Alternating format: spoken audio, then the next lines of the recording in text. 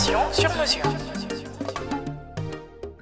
Donc je suis, Michel Terron, je suis le directeur de course et membre du comité d'organisation. En ce qui concerne le, le, chronométrage, les dossards qui vont être distribués aux coureurs, derrière il y a une puce électronique.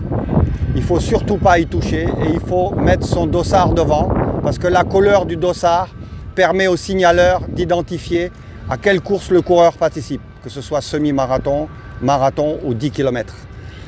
Lorsque les coureurs vont prendre le départ, ils vont passer sur un tapis.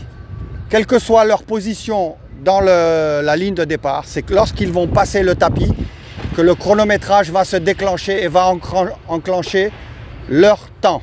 Et c'est ce temps-là qui va être pris à l'arrivée quand ils vont passer le tapis d'arrivée. Pour la régularité de la course, nous avons disposé de nombreux points de chronométrage sur le parcours, en particulier aux extrémités du parcours. Si jamais quelqu'un essaye de tourner avant et il ne sera pas pris en compte sur le tapis de chronométrage, il va être disqualifié.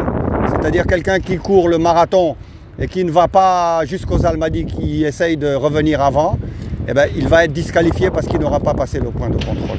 Ça, c'est important, je pense que vous devez euh, insister là-dessus.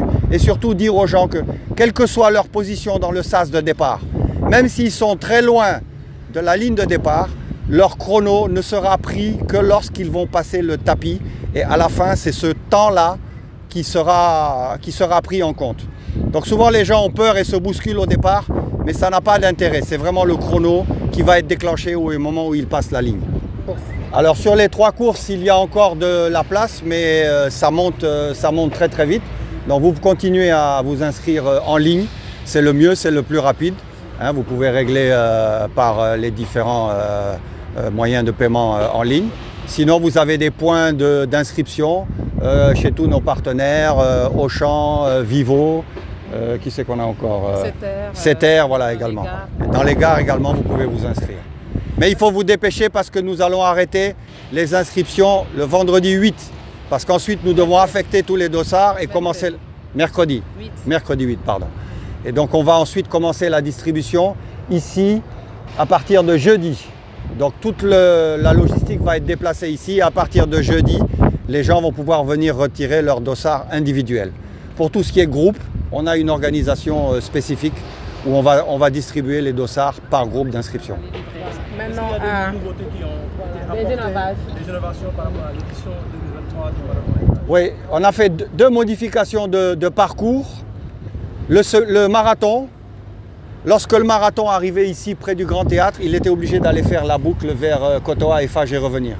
Bon, quand tu es marathonien, tu as déjà fait 38 km, tu es juste à côté de l'arrivée, on t'envoie faire 4 km de plus, tu es en fin de parcours, il fait chaud. Physiquement, c'est difficile et psychologiquement, c'est difficile. Donc, ce qu'on a décidé cette année, c'est qu'on fait faire cette boucle-là au départ. Et au moins, quand les gens vont arriver, tout le monde va arriver par la même, ligne d'arrivée, euh, le boulevard de la Libération. Il y aura une arche orange qui va signaler le dernier kilomètre. Donc, les gens savent combien il reste à faire. Pour le 10 km, je vous l'ai dit tout à l'heure, le départ sur l'Arsenal était trop étroit. Ça nous avait posé des, problèmes de sécurité. Donc, on a tout déplacé ici les trois départs auront lieu là. C'était vraiment ces deux considérations qui ont fait qu'on a, modifié euh, légèrement les, les.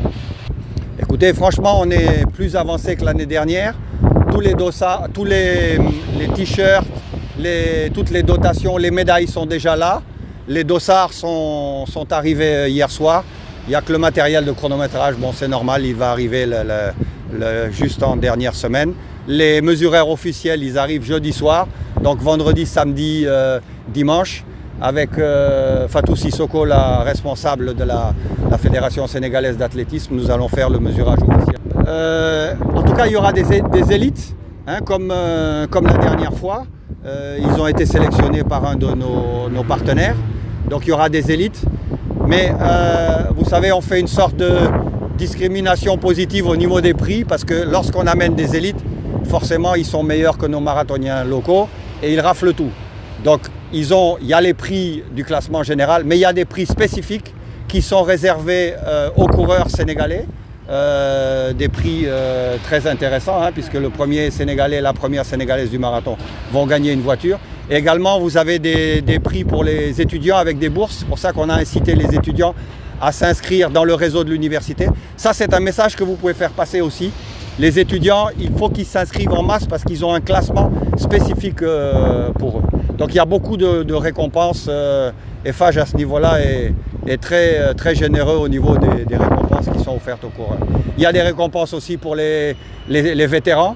Chaque premier vétéran, homme ou femme de sa catégorie, sera récompensé. Euh, quel que soit votre âge, vous pouvez participer. Encore une fois, le marathon, c'est un sport où même l'amateur court avec l'élite. Vous êtes dans les mêmes conditions que le champion qui va faire 2h15 ou 2h16, même si vous vous mettez au marathon 4h, 5h, 6h, ça n'a pas d'importance. Vous êtes sur le même parcours qu'eux, vous allez affronter les mêmes difficultés qu'eux. Donc c'est vraiment une des rares épreuves dans le monde où euh, vous pouvez le faire. Donc il faut venir, même si vous n'êtes pas un coureur euh, régulier et tout, un 10 km, déjà quand vous êtes dans l'ambiance et tout, vous allez être porté par l'ambiance. Venez, venez participer, il y a de la place encore, venez vous inscrire, mais dépêchez-vous. Moi je m'appelle Maïmouna Dem, je suis la coordonnatrice générale du marathon.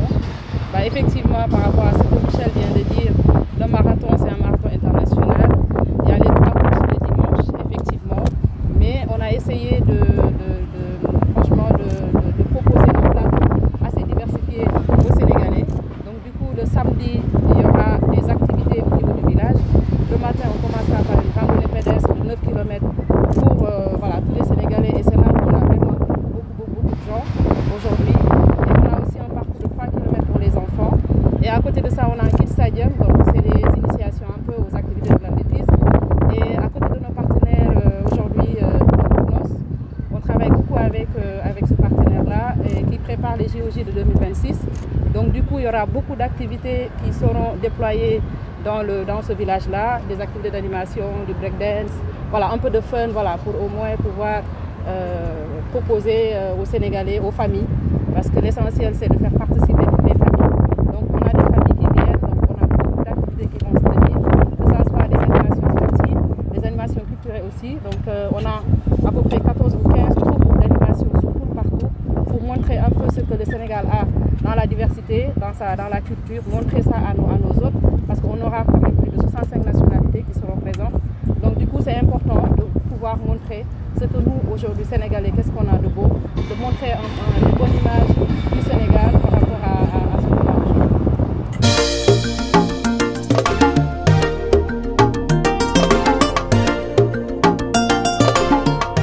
à. Dakar 24 Info, l'information sur mesure.